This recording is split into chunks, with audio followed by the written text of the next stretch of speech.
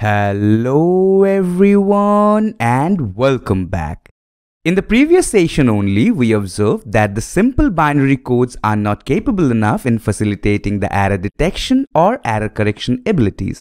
So in this session, we are going to learn about a code which actually is capable, and that is Hamming code.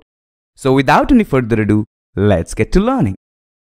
Coming to the outcome of today's session, today we will acquire the understanding of how Hamming code helps in single-bit error correction.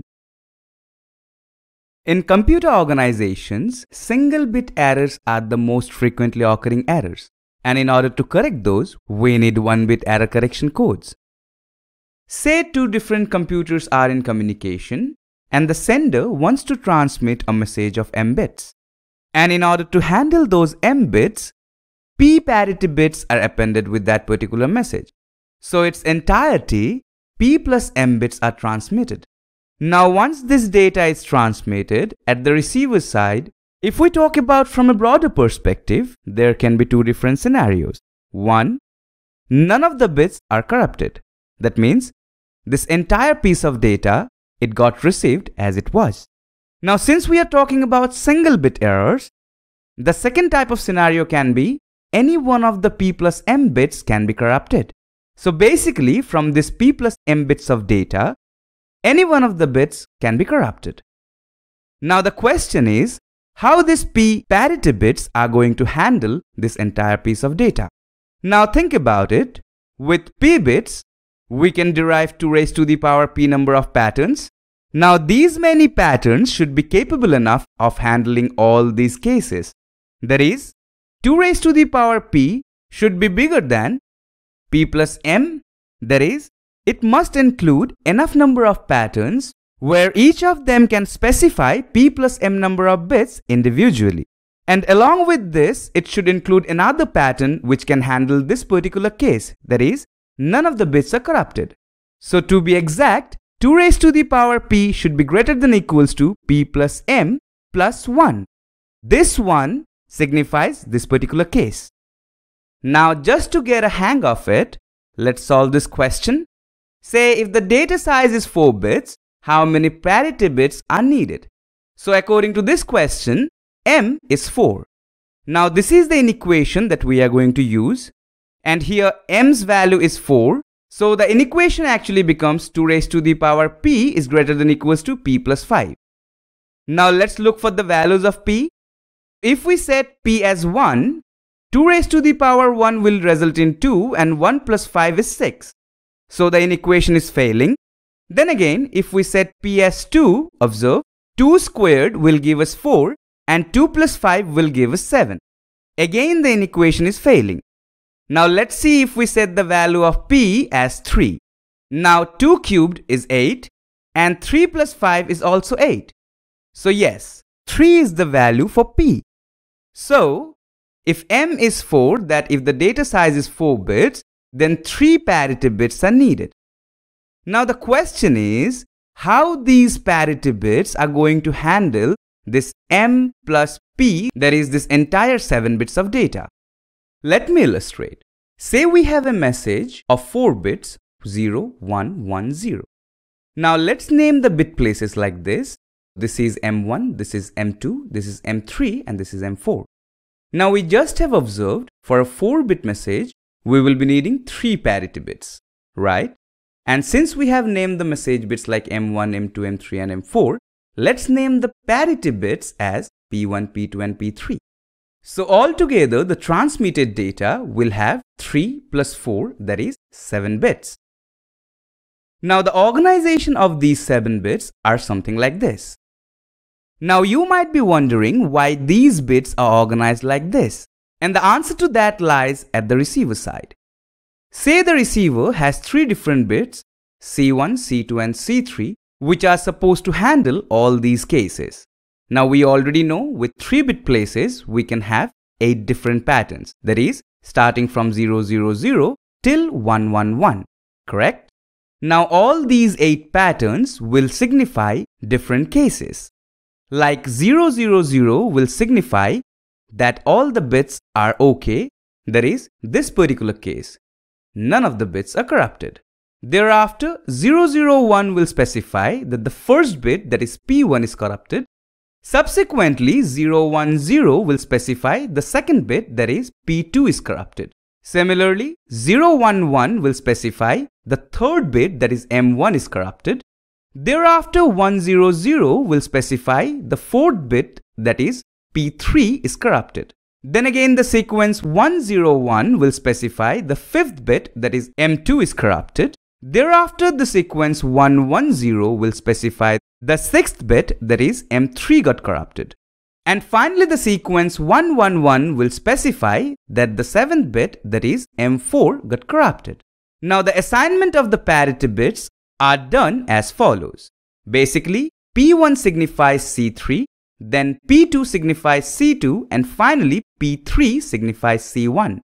Now let's observe the columns of C3, C1 and C2 carefully. Observe, in case of C3, these bit places have 1.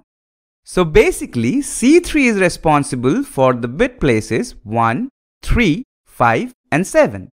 In other words, C3 will judge whether any of these bits are corrupted or not. Now observe the column of C2 here, these bit places are ones. So basically C2 will judge whether the second, third, sixth and seventh bits are corrupted or not. So C2 is responsible for these bit places. Now coming to C1, observe, these are ones, right? So C1 will judge whether the fourth, fifth, sixth or seventh bits, that is any of these bits are corrupted or not. So this is how at the receiver's side, this entire message will be checked for 1-bit errors. Now let me justify the bit positions of the parity bits. Observe, P1 corresponds to C3, right? And C3 is responsible for the bit places 1, 3, 5 and 7.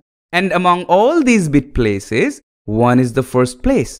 So this is the reason why P1 is placed at first. Thereafter, P2 corresponds to C2 and C2 is responsible for the second, third, sixth and seventh bit. Observe, among all these, 2 is the first one. So this is the reason why P2 is placed at the second place. Now finally, P3 corresponds to C1, which is again responsible for the bits 4, 5, 6 and 7. And among all these, 4 is the first one. And that's the reason why P3 is placed in the fourth place. So basically, the parity bits will be placed in the first places of all the bits which are being judged by C3, C2 and C1. Let's now get back to our illustration. So our message is 0110. So let's place this message bits first.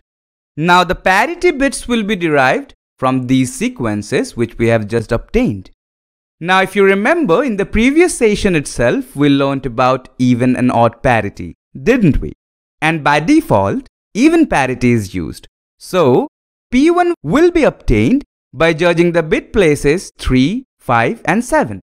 Observe, it is 0, 1, 0. Since we are using even parity, therefore the value of P1 will be 1. Because according to the logic of even parity, if the number of ones in the code is odd, then we will set the parity to 1. Now coming to P2, its bit place is 2 and we will produce the even parity for this judging the bit places 3, 6 and 7. Observe, it's 0, 1, 0. So the value for P2 will be 1 since we are using even parity logic. Now coming to P3, its bit place is 4 and the even parity for this one will be obtained by judging the bit places 5th, 6th and 7th. Observe 110. So our code already consists two ones that is even number of ones. So for P3 the parity bit will be 0. So finally this is the message which is going to be transmitted. Now say the sender is transmitting this message. However, the receiver receives this message.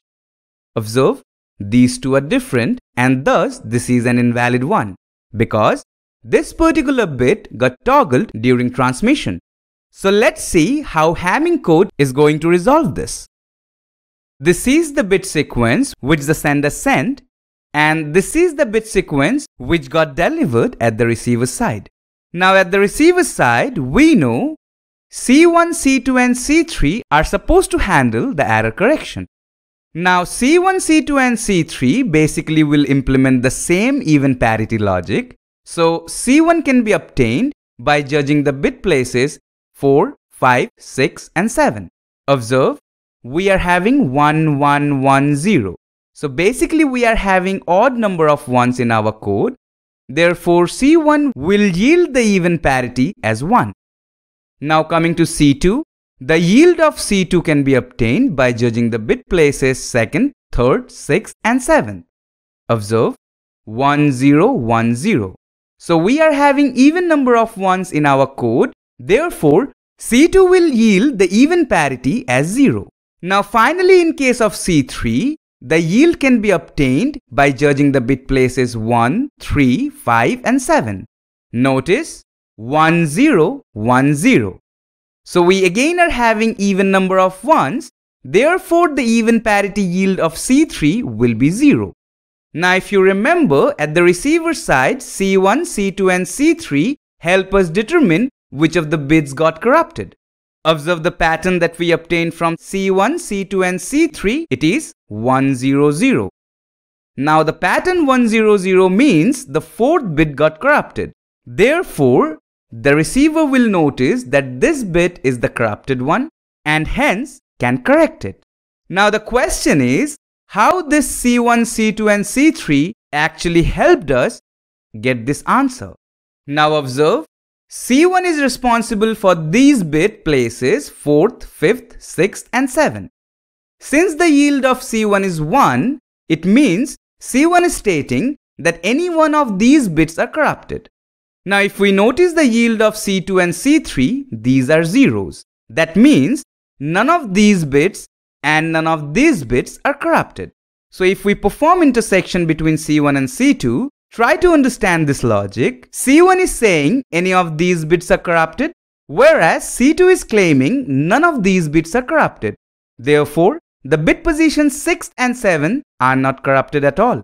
So clearly either the 4th or the 5th bit is corrupted.